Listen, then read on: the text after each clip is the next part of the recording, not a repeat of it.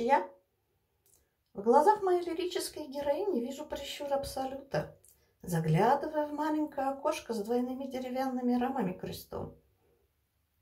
Зимнее солнце легко проходит через затуманенное местами стекло, а абсолют зеркалит солнечным зайчиком прямо мне в глаза с помощью маленького зеркальца в руках у лирической.